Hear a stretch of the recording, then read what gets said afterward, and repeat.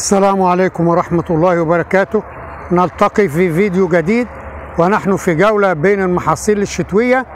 اليوم التاسع من فبراير 2021 بنعتبر أو بنقترب من نهاية الموسم الشتوي إلا أن البعض قام بزراعة الشعير.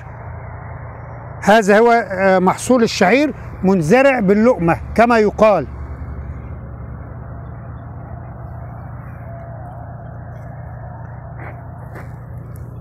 طبعا إحنا في نهاية الموسم الشتوي ومع ذلك ال- الشعير آه، يتم زراعته الآن لأنه سريع النضج. هذا هو الشعير مزرع على مصاطب كما نشاهد.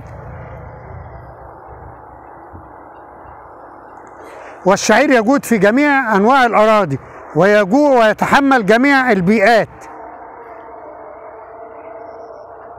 يعني آه، نحن في نهاية الموسم نعم. هذا هو محصول القمح. هذا هو محصول القمح. نحن في نهاية الموسم.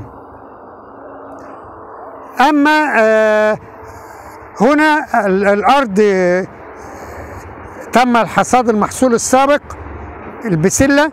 ففي رغبة من المزارع الاستفادة من الأرض قام بزراعة الشعير. هو آه، إن شاء الله آه، سريع ال- النضج وسيلحق بالمحاصيل الشتوية. وإحنا يعني هذه دعوة لو قمنا بزراعة جميع أرض مصر بالقمح أو الشعير إن شاء الله سيحدث اكتفاء ذاتي. الأراضي اللي هي الأراضي الاستصلاح الحديثة أو الأراضي الصحراوية إن كانت الصحراء الشرقية أو الصحراء الغربية. وهذا أكبر دليل. المزارع قام بزراعة الشعير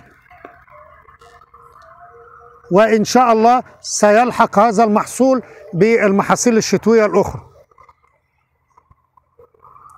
هذا ما لدينا. نشكركم ونشكر حسن المتابعة. المزارعون هنا وهناك كل يقوم بعمله في الحقل. هذه آه، ما نشاهده من بعيد هو حصاد محصول البطاطس وتم تعبئتها في شكاير أو أجولة كما نشاهد. هذه عملية حصاد محصول البطاطس. ومرة أخرى هذه نباتات الشعير. هذا ما لدينا عن هذه الجولة. هذا ما لدينا. نشكركم ونشكر حسن المتابعة. هذا هو محصول الثوم. آه، الرؤوس ما زالت صغيرة. المزارع في رغبة منه من الاكتفاء الذاتي قام بزراعة الثوم على حواف الحقول طبعا التوم بيزرع بالفص آه، أو إكثاره خضريا بالفصوص.